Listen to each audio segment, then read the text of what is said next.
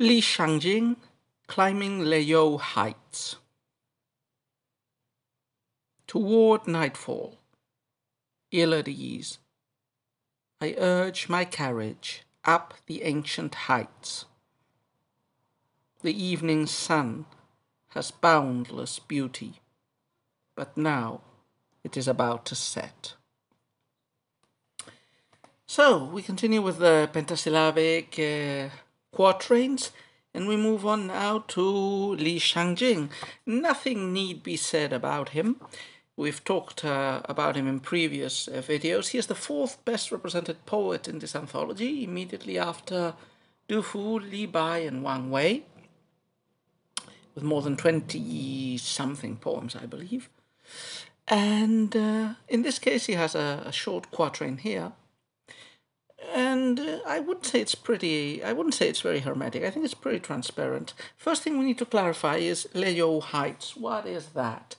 So I've been doing some checking, and it seems that Leyou was one. The Leyou Heights were one of the parked areas in the imperial capital in Chang'an, where scholar officials strolled and enjoyed their free time.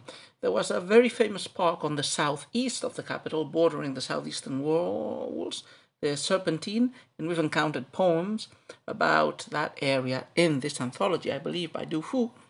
Another park was the Leyou Heights. The Leyou Heights was in the eastern half of the city, just below the eastern market, so not too far away, in fact, from the Serpentine. Uh, it's called the Ancient Heights because if what I read in some um, internet spaces is true, already long before the Tang Dynasty, this area had already been used. Uh, it might have had a temple uh, or some sort of construction or pavilion, even from as far back as the Han Dynasty. Remember, the Western Han Dynasty also had its capital in this area. It was also called Chang'an. It was slightly mm, placed in a slightly different position, I think a bit to the northwest of Tang, Chang'an, but relatively close.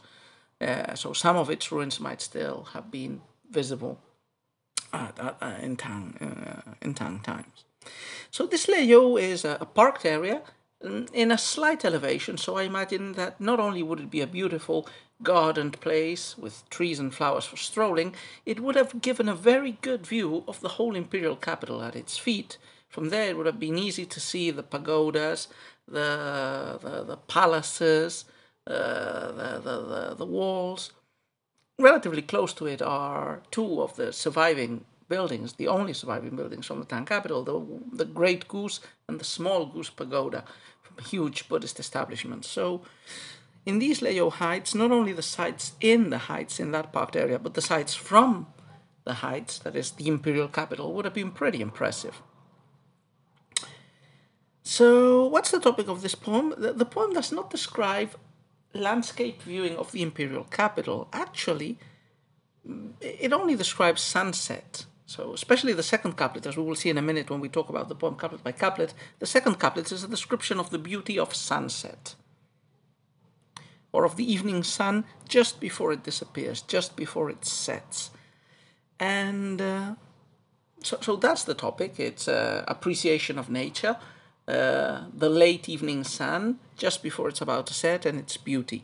There's also a sad, melancholy tone to it that is made explicit in the first part of the poem, in the first couplet.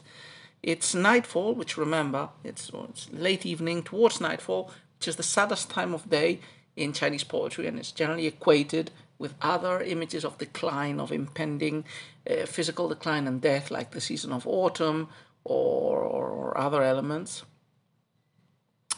And the poet explicitly says he's feeling ill at ease as he is climbing to the elevation. So, beyond the landscape description of a late evening sun, there's also an implicit undercurrent of melancholy and sadness, which the image of the setting sun should probably emphasize or, or, or maybe concretize in a, in a visual and natural correlate of an intellectual or subjective feeling of decline and uh, of decline and fall. So those are the topics of the poem. Uh, let's take a look at it couplet by couplet. It's a very short poem, but uh, I think the overtones that it has can be read in many different and interesting ways. So, first couplet Toward nightfall, ill at ease, I urge my carriage up the ancient heights. So the first couplet starts with an elevation. We don't, well, we know from the title that the poet is climbing Leyou heights. He's not climbing them on foot, he's climbing them on a carriage. And we have a lot of poems. I'm thinking of one that comes to mind is uh, one by uh, Cao Zhi in, at the beginning of the, of the period of disunion. But there are lots of poems of, I think there are Han poems as well, of like the scholar official going in his carriage and going up some elevation which has to be paved or have some sort of a pathway, otherwise the horses and the chariot wouldn't be able to pull it upwards. Remember, moving to heights is always associated with the acquisition of insight. We've mentioned this in tons of poems that included climbing mountains, climbing towers in this anthology. So the carriage is going up. The poet urges his carriage to climb the ancient heights to get insight and uh, two important things. It's nightfall, so it doesn't seem like the best time of day when nightfall is approaching to actually climb the mountain, unless this is meant to be a metaphorical climb. And the poet is not feeling very well. He's ill at ease. There is some unease in him that is pushing him up the mountain, and that probably is explaining uh, what he is seeing, why he is seeing it, and how he is interpreting it. So the poet climbs up the mountain in his carriage. What does he see? Well, that's the second couplet. And there's basically one, only one image, only one thing that focuses his attention and that acts as the emblem of the poem. The evening sun has boundless beauty, but now it is about to set. So the most beautiful sight, the focalizer of the poet's attention once he is in on the top of the Leyou Heights, is just the sun. It's a beautiful sun. It has boundless beauty, but it's setting. Now, sunset is a pretty universal image of the decline, not specifically Chinese. So, when we try to decipher or interpret any possible meanings of this poem, mm, what will this sun, sun setting represent? Now, um, I believe you, you, there are different layers of, of, of, of meaning, different ways of interpreting this poem that are pretty satisfactory in themselves. So, yeah, from one point of view, you would not need to read this as metaphorical. You know, you could take this as, you know, literal. Like the poet has climbed up this mountain. He wasn't feeling too well for whatever reasons which are not explained. And out of all the sights he sees in the relaxing, beautiful Leyou Park, the one that captivates him the most is the setting sun, a beautiful golden disk.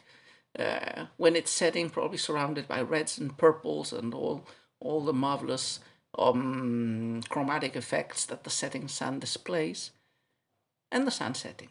So, a beautiful sight, you know, just a beautiful sight in nature that moves the poet, and, and that makes him think of, of how brief and uh, how pleasurable this beautiful sight is.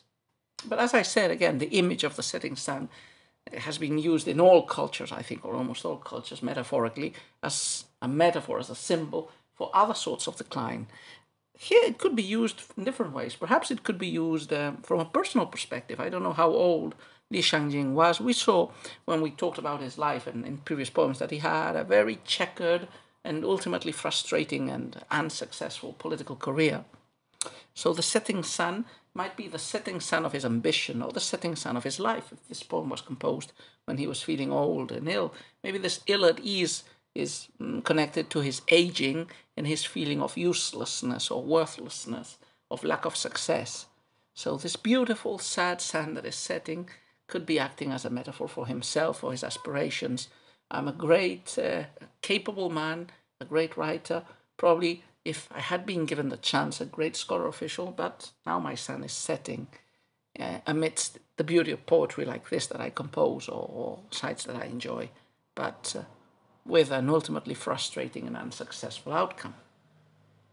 It is very tempting. Li Shangyin is, is generally considered the best poet of the late Tang period, the period of decline and decadence when, amidst incompetent emperors and uh, greedy officials and peasant rebellions, uh, the empire pretty, pretty quickly mm, strolled towards its dissolution and its dismemberment.